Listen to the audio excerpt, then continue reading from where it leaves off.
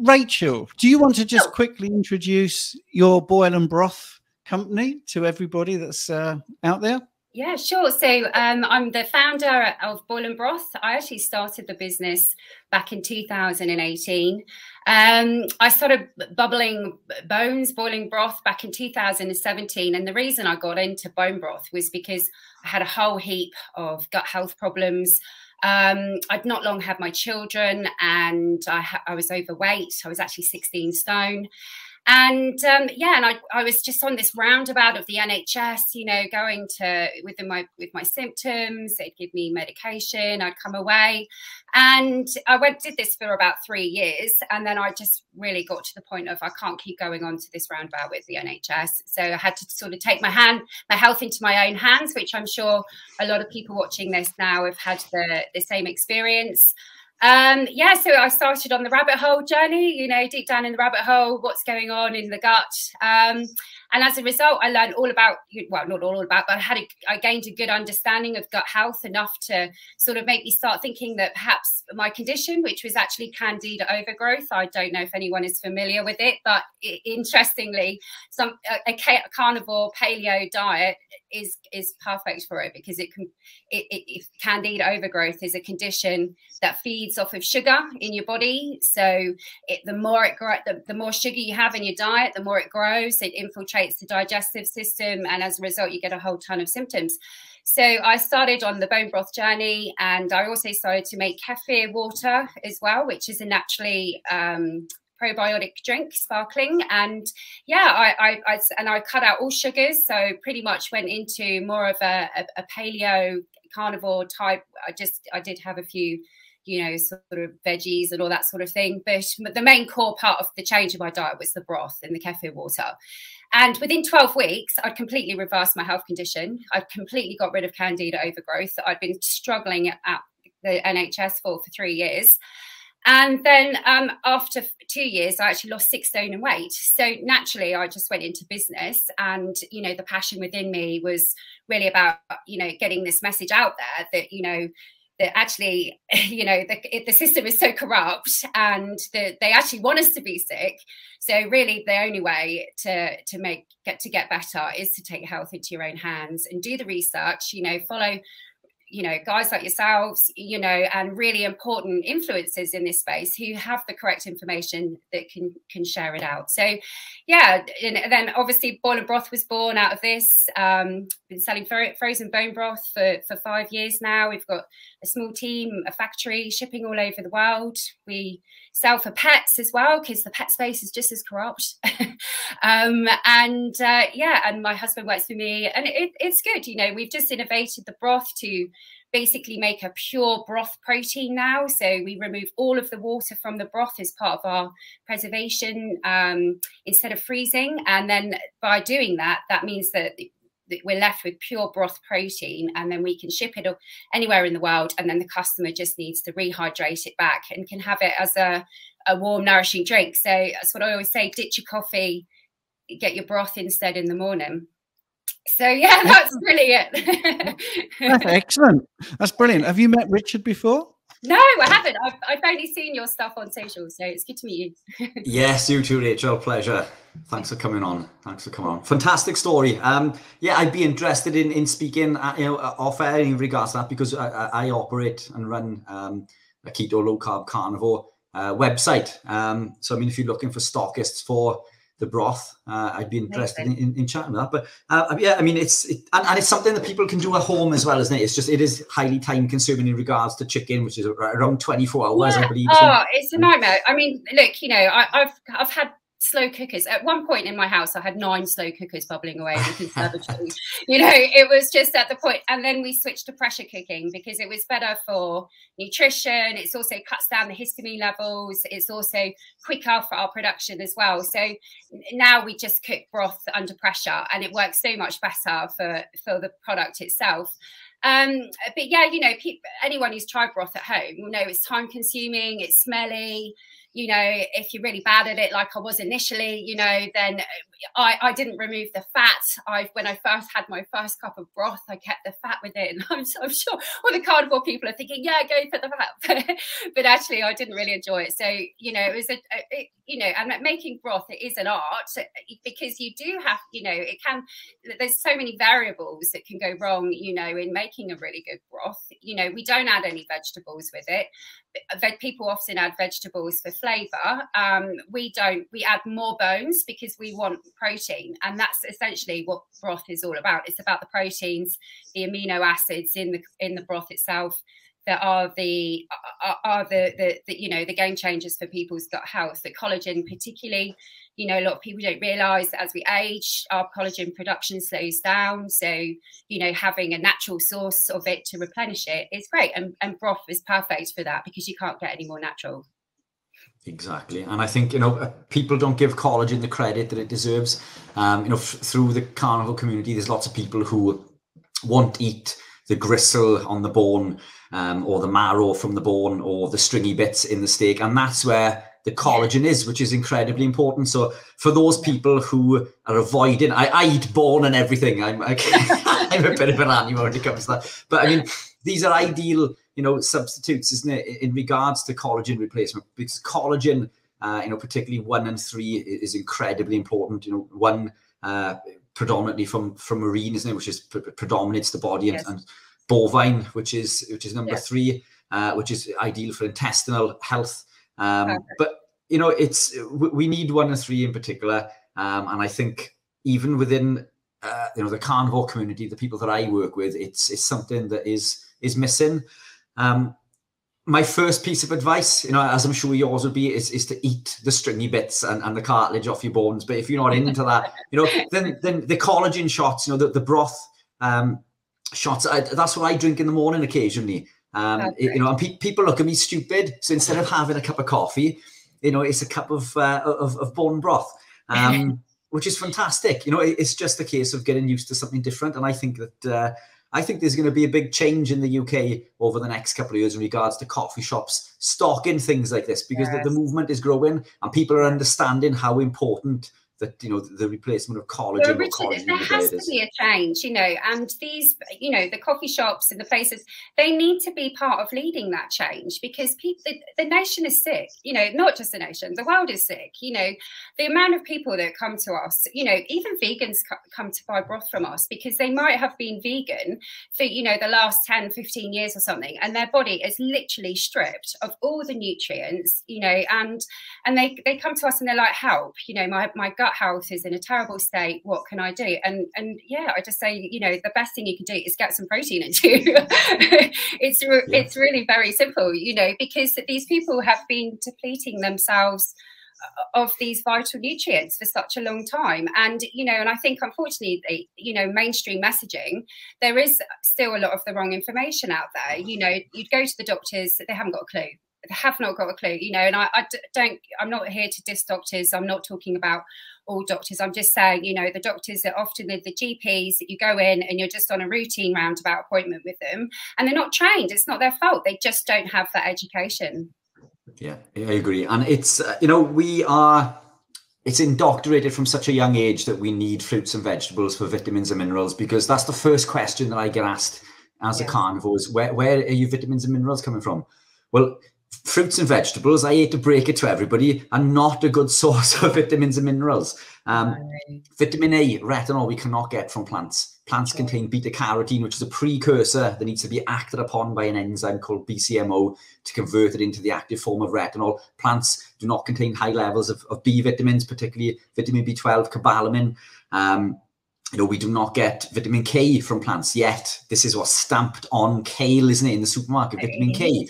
But kale contains K1, the human body needs K2, uh, and the list goes on creatine, carnosine, carnitine, taurine, all of these things that we can only get from animal proteins. And one of the other biggest misconceptions is that vitamin C, where do you get your vitamin C from? Well, meat contains vitamin C, you know, so it, um, unfortunately, we are fed this, uh, pardon the pun, or pun intended, uh, you know, we are fed this massive load of rubbish, isn't it, in regards to plants being uh, fit for optimal health. Unfortunately, they they bind to lots of the nutrients and they prevent the absorption. They're anti-nutrients. Plants are anti-nutrients. They prevent the absorption of these essential uh, amino acids, collagens. Um, and, and, I can understand. So I work with vegans and vegetarians. Um, yes. You know, I, I, respect anybody's dietary choice, uh, but I, I I try to to uh, educate, you know, as much as I can because there's a lot of misinformation out there, uh, and the people that I do work with, I find that they suffer with sarcopenia later in life, you know, muscle wastage, osteoporosis, yeah. because they're not con consuming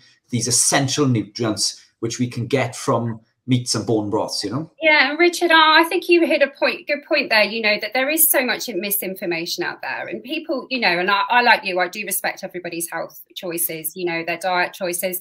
But at the end of the day, you know, there is a lot of misinformation out there. And it's gonna it's getting worse because, you know, we've got all these, you know, I, I, the, the AI chatbots, you know, they write blogs, you know, eh, people when they're searching stuff, they could start be researching really bad things. This is why it's so important to have leaders in the space, influencers that people can go to for the right information, because otherwise, you know, it, it really is going to become a major issue. And just going on to the point of vegetables earlier with the with the lads that you had on prior to me, you know, they were talking about environmental toxins, and you know, they're really that really is a major issue. You know, people don't realise that you know farming you know it, they they do they are using pesticides. They are using you know unnatural things on our fruits and vegetables you know. So if you're going to eat fruit and vegetables try and make your own try and grow your own you know. Yeah. and and people don't need a lot of space to grow their own vegetables you know. I think that's really um, you know important to say. You, you can you can just grow them in pots you know. You don't have to have a massive allotment to grow your own veggies yeah, definitely. There's lots of miscommunications. I mean, you know, some of the arguments I get are uh, animal cruelty. Yet, uh, anyway, I say animal lovers. Uh, I, I love animals. Uh, that's why I consume my food locally from a farm two miles away. Um, all grass fed, grass finished. The animals are well looked yeah. after one one cow would feed me for a year, which comes from two miles up the road. So I'm uh, helping, you know, the the environment uh, in regards to pollution, and I'm not desertifying because what people don't understand is when they eat, you know, vegans and vegetarians, they consume these foods. You need to desertify a field, which kills a whole ecosystem, destroys the microbes in the ground, and, and that, that land becomes desertified. It can never be used again. Yeah. It, can, it kills a whole ecosystem. Um, yeah. And have you seen the combine harvesters when they, they plow a field and there's there's all the, the seagulls and birds above? That's because yes. of all the dead animals that are caught within that machinery. Oh. And these vegans and vegetarians don't understand that. You know, they, to, to desertify the field kills 10 times more animals, you know, than, than it does to, to, to, to feed uh, a carnivore mm. lifestyle. Uh, and what do they do? They, they, they you know, uh, buy av- avocados and these exotic fruits which are flown in from all over the world. From Mexico, you know, from yeah. the drug cartel. I know it's yeah. insane, honestly. And um, I, I, have to say, sorry, just to interrupt, because Stephen has brought on his lovely dog. yes, I brought my dog in because I just wanted you to say, talk about that you do carnivore stuff for dogs. Yeah, uh, absolutely. So I think that this is a just really a testament to how natural our bone broth is because we do we put nothing in it just three ingredients that's it. And we homemade our apple cider vinegar as well because we're fortunate enough to live on an orchard. But the greatest thing is is that we have a dual license to produce the bone broth for pets and for human consumption. The broth that we sell for the pets is actually no different to the one that we sell for the humans. We just have to have a license and a different label to put on it. But essentially you could buy a pot of broth for yourself and share it with your dog. That's how that's how. Or vice versa. Yeah, or vice versa, exactly. um, you know, and I think that to the point of us doing this was because you know we do see that there are you know issues within the health space for pets as well. You know, they are not getting access to a lot of their correct information. And there's a really big drive in the raw feeding community now for pets, which is amazing, you know, because so many vets in the UK really stand for raw feeding. You know, they they highly recommend carnivore diets for dogs. And absolutely, dogs aren't meant to eat you know um, they're not meant they're not meant to be herbivores at all you know um, so broth is a great way to supplement a dog's health as well so you know for the same benefits is why you would have it for for a human which is for inflammation reduction in the gut um, for collagen benefits as well, um, and also joint and ligament benefits, particularly for dogs. You know, especially as they get older, you know they do need that extra glycosamine, glycosamine and chondroitin in in their bodies as well, and that's another um, amino acid um, structure that can that, that's found within bone broth too. So yeah, it's really really good stuff. And just just I just want to go on to something that Rich was talking about there. Uh, this is from the Smith, Smith, Smithsonian, Smithsonian National Zoo and Conserv Conservation Biology Institute. Uh, there you go. Um, in a year, 67 million birds are killed due to pesticides, agricultural pesticides. Um, 672, they reckon, across the world in a year. Mm. That's a lot of death and destruction. Awful. So, uh, you know, and these are the things that don't really get exposed. Do you know what I mean? You know, mainstream media is just always yep. because they have the power, they have the majority, you know, so they're able to push that that narrative out there. Um, but you know, again, as I'm reconfirming, you know, this is why it's so important to have these sorts of shows on this sort of you know network for people to be able to come and get the right information.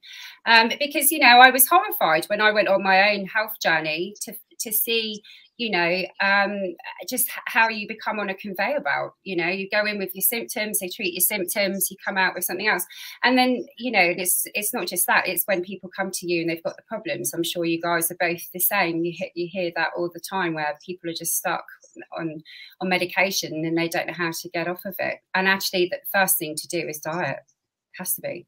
Oh, for yes. sure. Yeah, for sure. It uh, it is a shame. I mean, one industry feeds the other um, and yeah, I mean, thank thank you for coming on and spreading the word as well. I mean, it's I, have I've been living this lifestyle for 10, 11 years and screaming it from the rooftops, but a lot of my content um, seems to be blocked on on Instagram, Facebook, and YouTube. As such, my following hasn't grown. So I've been screaming this for 10, 11 mm. years, um, and I I don't have a following, um, you know, anywhere near the size of some of these other influencers. Um, and and I think it's because content I've put out earlier, um, which is a shame. And it's tough. You know, Stephen and I were speaking about this yesterday when we in, in regards to trying to improve that following in order to get that message out. But a lot of my my items, posts have been censored over the years. I, I, must be in Facebook and Instagram jail or something. But, um, but permanent jail.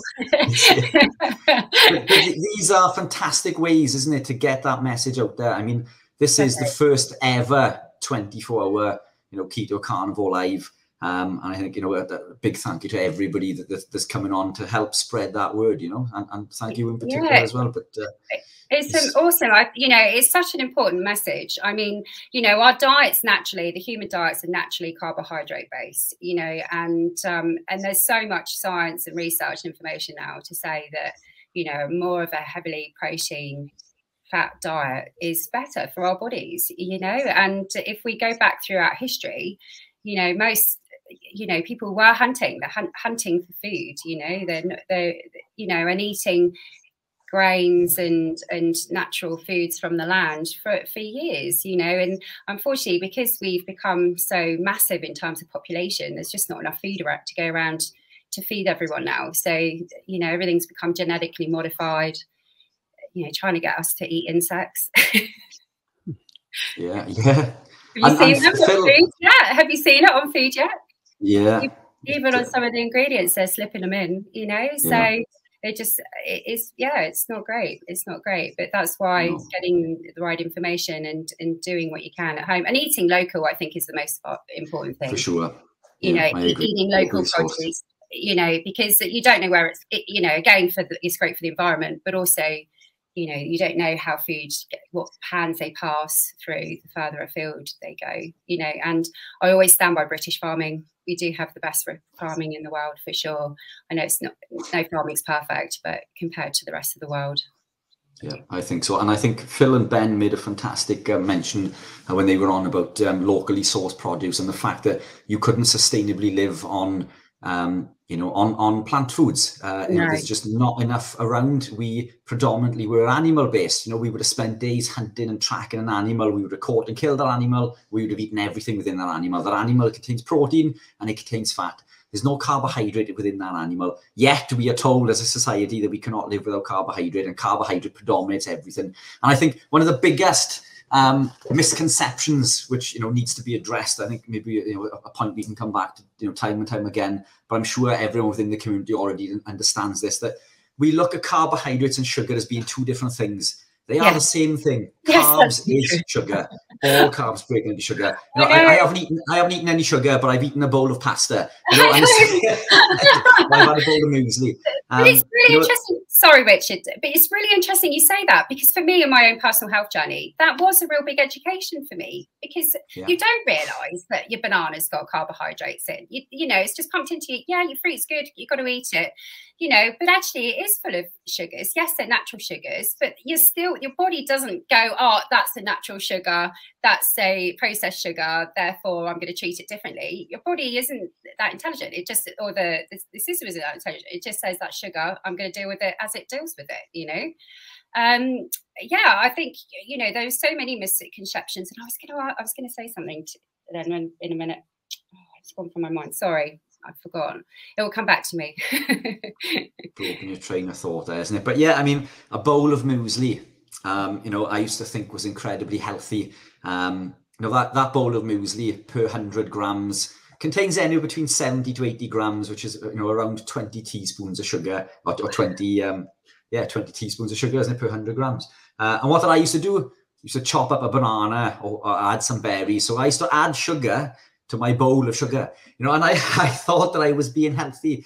Um, but unfortunately, the, you know, this is, um, you know, the brainwashing that has gone on, you know, since uh, the 1950s, isn't it? and it, um, you know, muesli is not and, your friend. It, no, uh, it's not. And it's even worse for children. You know, I've got two children, and you know, the cereals that are around for the children, it's just a nightmare. They're, they're, you know, they say, oh, they've got extra, you know, vitamin D or you know this and they'll, you know, this and that in there, but actually the sugar in there is just insane.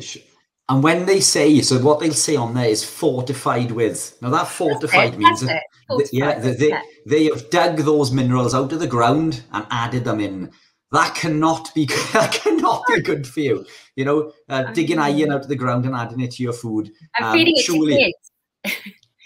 and feeding it to kids. Yeah, you know, you know it's, it's uh, so, so, that that's what fortified means. It's not. Is natural. that really? What, is that what it means? Is it that they've actually yeah, dug it out? They've dug yeah. it out of the ground, yeah, and, and put, put it, which is absolutely incredible.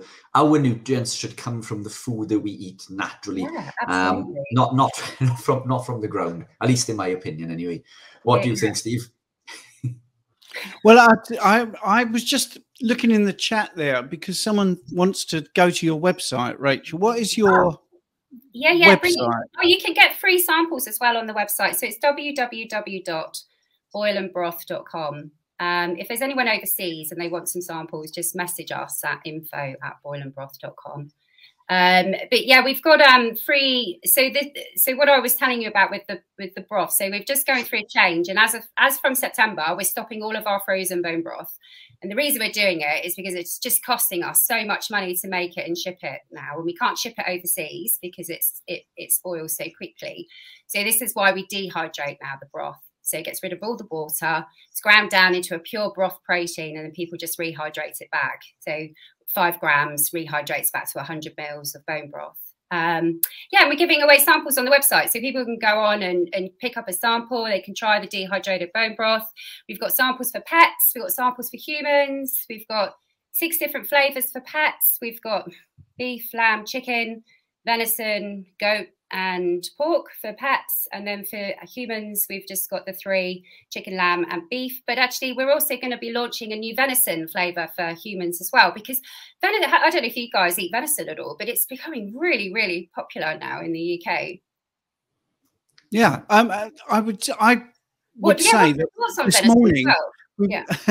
It's brilliant. Um, we were talking about coffee and giving up coffee, and I think um, substituting coffee with bone broth is is a hack that a lot of people use and it does work actually. I think um, coffee is lovely. Uh, i have decaf and it doesn't cause me any issues but i understand the social side of it. So if you want to um, get off coffee as we spoke about with dr chaffee and also dr kiltz um, then bone broth is a really good thing to try as an alternative because it is tasty and it is nutritious and it's a hot drink and um, you could sit there where you normally sit in the morning say you have your coffee and have your bone broth and uh, because it's now dried it, you can su- supply it. i mean i remember buying some off of you that was the liquid and i think actually it might be serendipity that you know costs have gone up and you've gone more into the dehydrated because it's easier to post and it's easier to store at home and then you just just make it like coffee granules you know it's just it's yeah. it's so easy and simple and such a good thing to have a hot drink instead of coffee which is uh, deleterious for most people and have something that's nutritious i think um, you know hopefully people will take you up on that offer to go to your website so just it's it's boilandbroth.com is it Yes, it is. Yeah, yeah. yeah and we right, do okay and we do offer so um, people in the UK can just go on and order samples normally, but at the moment our worldwide shipping uh, is not great. So just email us um, and we can ship them out to you that way. Yeah. Well, um, I'm just going to answer a couple of the comments, by the way. Yes. Um, just just so people know, we we've invited as many guests as we possibly could, and yes, we're going to have guests every half hour. So Rachel was very kind to come on. Um, we tried to get Ken Berry, but I think it's just been too busy for him to to get on. Uh, I don't think Dr. Chaffee is coming back. He's given us three hours already.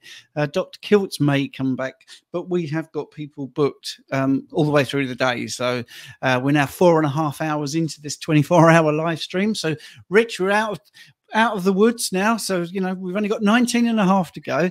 Rachel, thank you so much for um, appearing. That, yeah, we really great. appreciated it. Yeah, thank you. I'm really grateful to you for asking me to come on. And Richard, if it is okay, I'll contact you separately and um, we'll have a chat about what we spoke about at the beginning. So, yeah, thank you very much. All the best for today. It was really great. Thank you. Okay. okay bye. Bye. Yes. So um, that was brilliant. I was it? muted. I didn't realize yeah. I was muted there when I was. Apologies, Rachel, if you're still listening. Yeah, I did say thank you, and yeah, for sure. uh, yeah. Yeah. So, we, so yeah, I mean, just going into uh, what we were saying um, about that being nutritious. I mean, just before the next guest, if you want to just talk about what Keto Pro does, what you do, that would be interesting from a, a, severe health background, and, and as such, I, I've sold uh, three houses, everything I own, to put into the business in order to educate and help people along their journey in carb reduction, removing seed oils, grains, uh, and ideally the transition into carnivore eventually. Um, and we support every stage of that. So we support every stage of low carb, uh, dirty keto, clean keto, and everything is, is signposted on the website. So the, the products and foods that we do uh, will either be stamped keto pro approved, which is the creme de la creme. Anything else is you know deemed to be keto friendly or low carb. But no matter what what side of the fence you're on, whether you're low carb, dirty keto, clean keto, standard, carnivore, what type of carnivore, you know there, there are products uh, and foods and, and, snacks on there that um, uh, that can help anybody along their journey. Uh, obviously, we always promote real food. Um, real food is, you know, is the way forward. What we do stock is classed as foods. Um, and that's what we do. Part of our journey is, to help educate, and that's what Stephen and I do every Sunday on the live. This is what we do on the website. There's a knowledge base on there with lots of free information, lots of free information on the YouTube channel uh, and Instagram, etc. But that's enough chatter for me. Um, on to uh, onto Dr. Rachel Brown. Hello, Dr. Rachel. Rachel Hello. Brown. Hello. Would you like to introduce Hi, yourself to those people that don't know you? Sure. Yeah. Um, so I work as a consultant psychiatrist in the UK, um, but I'm also qualified in functional medicine. So I have a real interest in um, looking at the root causes of illness, which I think uh, modern day medicine doesn't do particularly well. Um, and I've been carnivore for four years now. Do you know Richard, That's by the way? I don't. Hello, Rachel. I, I don't think we've met prior to this, have we? No, have, am I on mute? You, no. you've not met. No, we right, okay. Oh, I'm not. so, nice right, no, no, Dr. Rachel. No, we haven't met. I think we've interacted a bit on Instagram, but that's been it. Brilliant. Oh, have you? What did you have a bit of a ding dong argument about something? No, I don't think so. Is there? It, no, uh, no, I'm only joking. No, Rachel, yeah. can you hear us? Okay. no, sorry, I don't know if I've got a bit of a delay here, but I'll try and do my best. Yes, there is a delay. It's like speaking on a satellite. So, do you want to give um, the listeners and viewers a little bit of background about why you ended up, you know, being a carnivore? Gosh, yeah, sure. So, um, gosh, I've been interested in low carb nutrition for decades now. It's a couple of decades, which makes me feel really old. Um, but I came to carnivore via keto, and it was really just um, because of family sort of poor health um, in older generations of my family, and I, have been doing. I've been a big fan of Mark Sisson for years, and I've been doing low carb, but not necessarily strictly keto for quite a number of years before I decided I was going to go strictly keto. And then I just came across carnivore via one of um, my favorite keto influencers, which was Vanessa Spina. So I'd followed a lot of her work um, for quite some time. And like a lot of people, I thought it was crazy when I first heard of it. Um, and I first saw it, I first was introduced to carnivore via just a food plate that she shared on her Instagram. And because I trusted her opinion on a lot of things, I felt um, there must be something in this if she's doing it. So I went down the rabbit hole and just researched it myself, and and the rest was history. Yeah, and I th- I think there is a slight delay, by the way. So, um, Richard, uh, do you want to ask a, psychiatrist any particular question about carnivore and how it's helpful? Yeah, so it. Um, I mean, a, lot of questions that that we get within the community, yeah, you know, is uh, regards to how the diet will affect uh, the catecholaminergic neurotransmitter synthesis within the brain and how the brain functions. Uh, I did an interesting podcast with Jen Unwin recently in regards to food addiction. Uh, and many people don't understand that the food that we consume massively impacts the way that the brain works and, and, and the way that it makes us feel, isn't it? Um, do you want to go into a little bit of detail and, and, and, explain a little bit about how this can affect the way we feel and, and the moods and, and because everything comes to me comes from from, from diet. And I, I, used to suffer severely with depression and anxiety. And since becoming keto and, and carnivore uh, you know these things have, have, gone away. And i used to i used to tell people my life was spent living in boxes so i used to leave my box and jump in my metal box i drive to a big box where i'd walk into a small box my life was spent living in boxes because of depression and anxiety and through the foods that I've changed in my diet. I know I've able to, to come out of that box and now I do public speaking events to thousands of people what I couldn't have dreamt of doing before. And all of this is to do with nutrition. But when you tell that to somebody, they won't believe it because it doesn't come from a medication, you know, and it's, um, yeah. So if, if you wanted to go into a little bit of that, that would be fantastic. Yeah, sure. Happy to. Um, gosh, where to start? There's so many different um, complicated pathways within the body that all interconnect.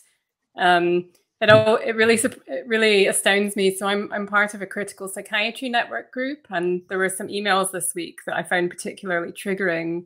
And it was in response to one of the psychiatrists in the group asking, "Is there any evidence that food can make a difference to major mental disorder?" And um, someone else in the group, very opinionated, said, "Oh, there's absolutely no evidence, and I'm sure we'd all be very happy if there was any evidence."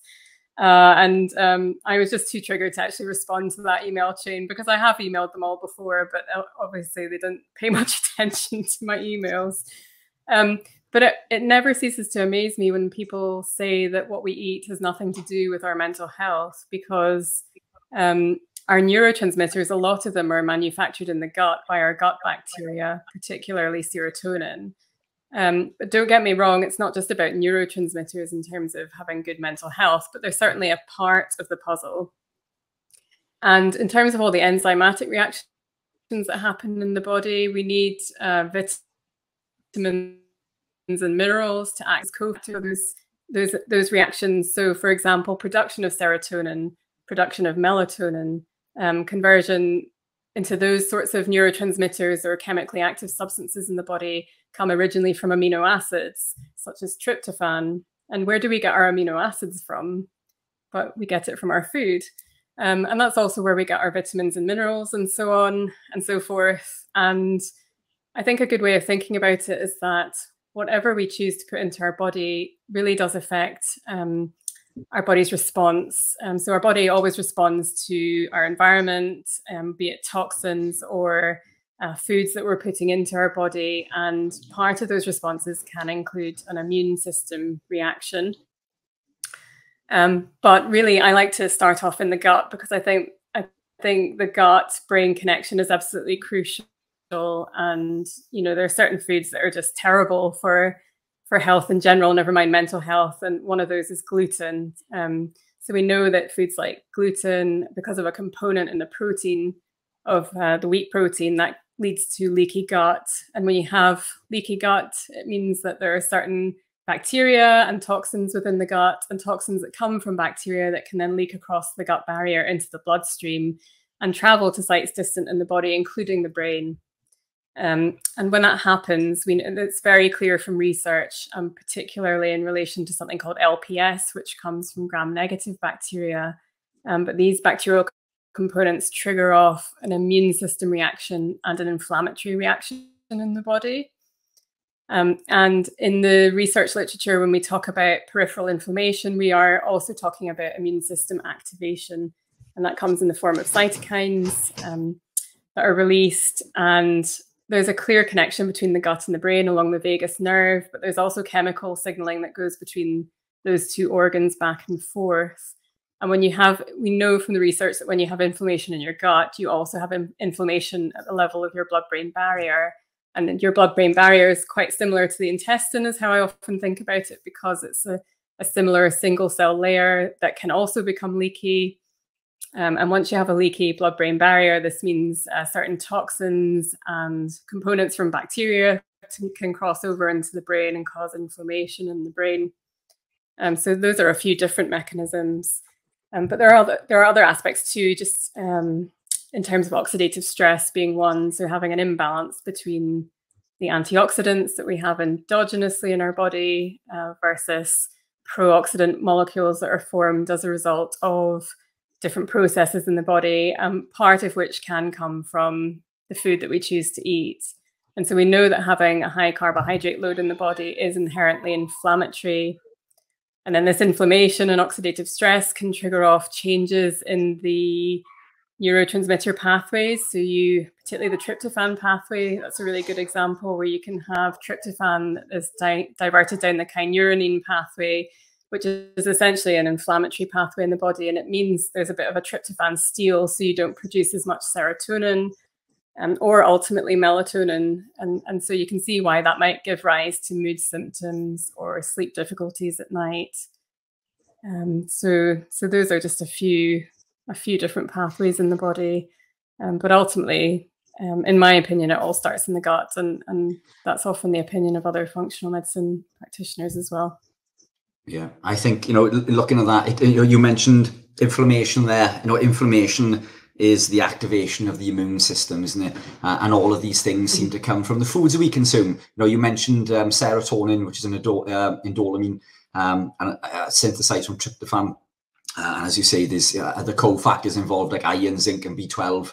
Um, mm-hmm. Now, the foods we eat uh, that are caused, you know, excess carbohydrate consumption, for example, will lead to insulin resistance and inflammation. Um, you know, this can lower our immune system, uh, in particular things like the ACE2 receptors, leaving us more susceptible to viruses and infections. And when we get these viruses and infections, um, the body sequesters iron, doesn't it? Uh, it puts iron into ferritin and it takes it out of circulation. Now, one of the main cofactors to produce serotonin is out of circulation. So the body could have an abundant amount of, of iron stored in ferritin, but none of it is bioavailable. And then this affects the serotonin production. Um, so all of this comes back down to the foods that we eat, isn't it? Which again, people find absolutely crazy to understand. But what we eat massively affects the way that, that we feel and the way that the brain functions. Um, and I and I genuinely believe I, I, we've mentioned this before. But, you know, we're not against medication in the treatment for certain things, but predominantly, I think if you eat uh, a, a, carnivore or ketogenic based lifestyle, low in carbohydrates, avoiding grains and seed oils, so we're avoiding glycation and oxidative stress.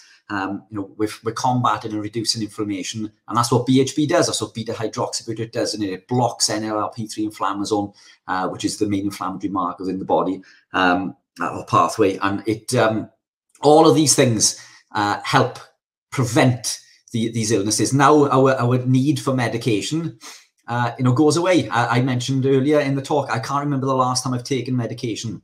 Um, yet I was on an abundant, I was on a myriad of medication every day for all sorts of things. Uh, and now I am completely medication free, all from from changing my, my, my diet. Yeah, yeah, absolutely. It really frustrates me um, working particularly in the NHS where the food is terrible that people are fed in hospital and um, we're, we're just piling on different medications on top of this underlying inflammation and immune system activation that's going on and, and no, nobody really spends much time thinking about addressing the underlying cause. And yes medications can help and they can help to suppress symptoms um, but as we all know no pharmaceutical comes without potential for side effects. And I, I, just wish that more people were aware that they could really ultimately improve their mental health by changing their lifestyle and what they eat. Um, and I don't think it's all about diet. So I think other things are super important as well, such as light routines, particularly for circadian health, um, and and limiting toxins and, and so on. But yeah, diet's certainly a fundamental place to start. And I I'd be very surprised if people could get to a place of um, complete wellness without doing something at least to address their diet. I'm a really big fan of Dr. Sarah Myhill's work, and um, it's particularly a paleo ketogenic diet that she promotes for people and suggests. And I, I think that's a really good place for people to start if they're, you know, not everybody needs to be carnivore, but you, we certainly see a lot of people in this community who have amazing health transformations and I know of quite a number of people with major mental disorders who, um, for whatever reason, keto just didn't do it for them in terms of resolving all of their symptoms, whereas carnivore is one step further um, in terms of promoting recovery. So I think people have got different options, and everybody's I say everyone's bio individual. So particularly when it comes to our gut microbiome, you just don't know exactly where somebody's starting from unless you do detailed testing. And even then, I think there's so much that we don't know yet about that field. I, th- I, think the delay is a little bit disconcerting for a few people, but I just wanted to know. Um, I've got a question about sleep, which I'm going to put on. Uh, if you want to answer it, that would be great. It's not as specific as uh, to your job, but somebody here, uh, TFC Locks.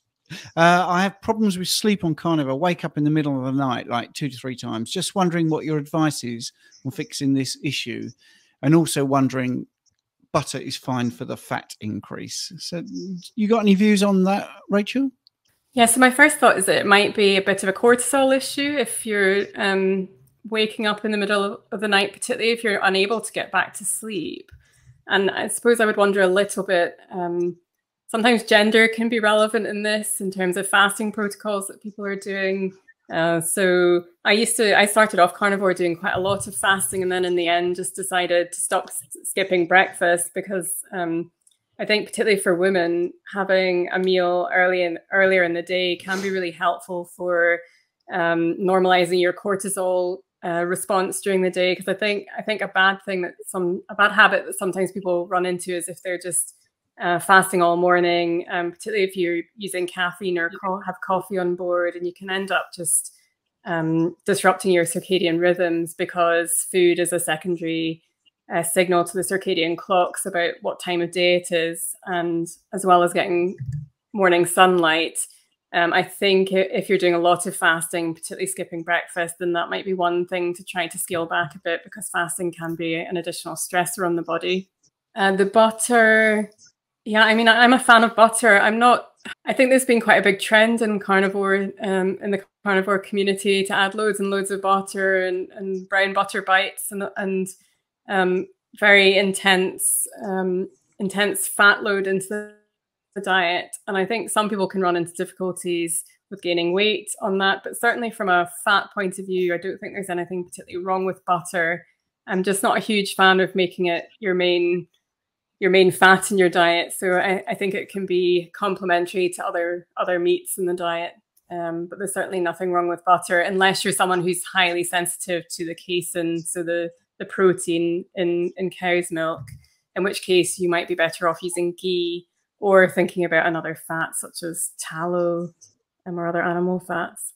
Rich, fantastic. yeah, com- yeah, completely agree with that. And and as Rachel rightly says, you know, fasting uh, can can be a contributing factor to elevated cortisol levels. Uh, you know, fasting is fantastic. I I tend to fast every day, but it can have uh, negative impacts on cortisol.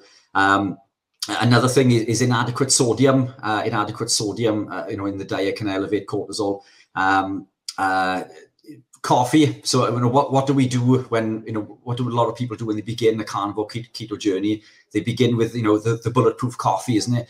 Um, so they end up consuming way more coffee. Uh, and I know we've covered coffee a couple of times, but too much caffeine um, can cause disruption to the adrenals, uh, leading to increased cortisol. So all of these, it's not just the caffeine, but it's, it's again the interruption with cortisol into the into the system there, and timings as well. So um, you know we're told to eat um, well before bedtime, but I eat just before bed.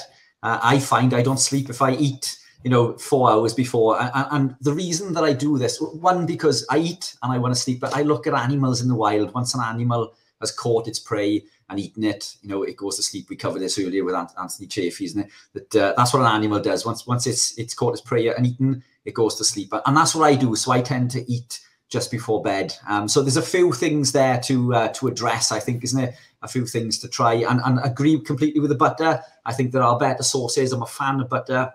Uh, I think um, the casein is lower in butter than uh, the milks. Uh, you know, uh, again, I sort of put butter into a different category from milk. Uh, the casein content is a lot lower, but if you are susceptible to intestinal permeability and suffer with those issues, then you know tallow or ghee would be a better option. But yeah, a, few suggestions there to uh, to implement and try possibly. But um, fantastic. Any thoughts from you, Steve? Well, I think after a 24 hour live stream, I might not have problems sleeping, but actually, with the screen for 24 hours, I may, I may, and I think that that's one of the things I would always add. It isn't just about what you eat; it, it, it is about what you're exposing yourself to all, all day. And if you if you sort of are on your iPad or a mobile device and you're watching something scary or the news triggers you, you're not making the environment conducive to going to sleep, are you? You're, uh, yeah. using your animal analogy. You know, if you were out in the uh, forest with your dog and you know the twigs were going and rustling was happening on, your dog wouldn't sleep. You wouldn't sleep because you'd feel like, whoa, I've got to, I've got to stay awake. Then if someone was flashing lights at you, you'd be like, "Oh, I don't like that." So, but we're doing that. We're we're exposing ourselves to noise and lights and things we don't know and things that annoy us or scare us, and then go, "Oh, I can't sleep. I can't yeah. sleep." And it's like, you know, diet is in, incredibly important, but I think these other things that we expose ourselves to, we do need to look at. So, um, which circles yeah, back to exactly you know what uh, what Rachel mentioned earlier about uh, these uh, external. Uh, you know sources so diet you know fundamental but these external sources are massive contributing factors as well but what i tend to find is that when you begin this journey you know, of, of self-improvement, uh, these incremental changes, you begin to look at other things, don't you? You, you begin to look at um, cold water therapy and, and, and grounding and, and all these, you become a biohacker, you know, what began in, in just taking out bread, trying to restrict carbohydrate. Now suddenly, you know, you're, you're, a, you're a biohacker that's doing all of these things and biohacking your body in, in, into better health. And uh, it is an incremental system, but yeah, fantastic answers there, I think. Yeah, and I mean this this reality chick, which is a great name by the way. Uh, coffee shops have become the sweet shops of the modern high street. Costa is in every hospital, and the sugar content of their cakes and pastries is off the scale. Um, I included that comment because I lost my parents many many years ago, and before I knew about carnivore, and certainly before I knew about low carb, and I have found it quite strange that they would feed this you know high now i look back high sugary meals and then give my uh, mother a sleeping tablet to help her sleep. And she's in a stressful environment. She had uh, well she died from it what she was in hospital for. Uh, but then at five o'clock in the morning they would wake her up to, to take all her readings. So they, they were completely messing up her circadian rhythms feeding her the wrong food.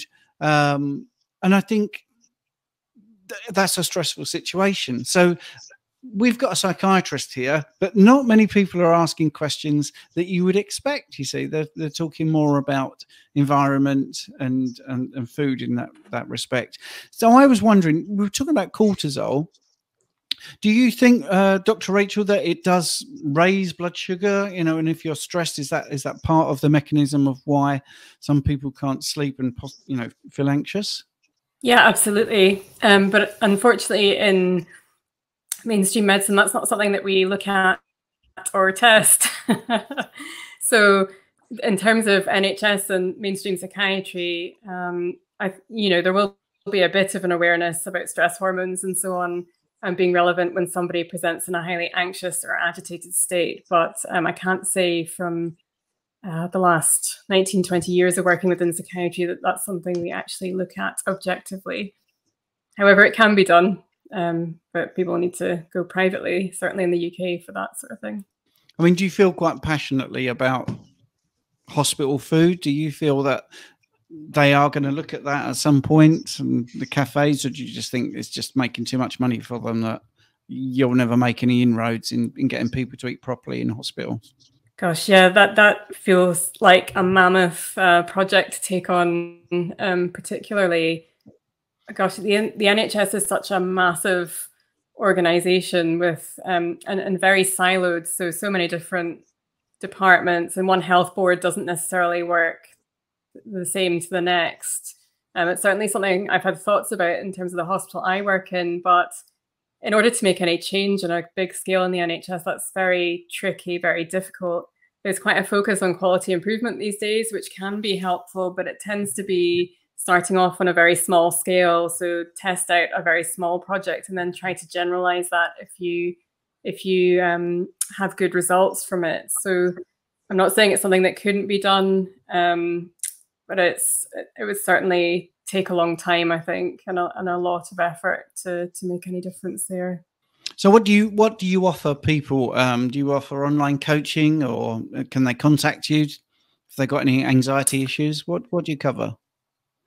Yeah, so I'm working now with um, my business partner Ali Houston, and we founded MetPsy. Um, so people can go to metpsy.com. So it stands for Metabolic Psychiatry, and we do coaching there. Um, so we're doing small group coaching at the moment, and we'll have a course that will run ultimately twice a year for people who are just interested in metabolic approaches to mental health. Um, at the moment, I'm not doing any direct one to one private work, but that's something that may well change in the near future. So um, I'm looking into some different options there. And I've just put your Instagram up on the screen as well. So people want to follow you, they can get that. Um, link and contact you, which would be really good. So, um, yeah, have you enjoyed coming onto the 24 hour live stream? I have, thank you, but my internet is doing my head in, so I'm going to have yeah. to contact my provider. Because I'm, I'm actually plugged. I know. I'm plugged in, so I'm not on Wi-Fi, and there's still a delay. So, and, uh, there is a question just before you go. Uh, let's have a look. Any thoughts on increased ADHD in children these days? Is there a connection with the SAD diet? Yes, absolutely. I would say. Um, so we there's studies that show that um, particularly in autism and ADHD, there can be an increased susceptibility to leaky gut, and this can then trigger off inflammation in the brain um, and so on. But there are also some slight genetic abnormalities that can mean that people have higher requirements for certain micronutrients. Um, for example, um, the MTHFR cycle, which is to do with folate and bioavailable folate, is one that a lot of functional medicine people are very into testing. Um, but the, there, there's certainly a lot of evidence that, um, and certainly in my mind as well, that the symptoms of ADHD can be treated via diet. And I've had people contacting me, just DMing me privately, saying that they've done really well um, in terms of improving their symptoms.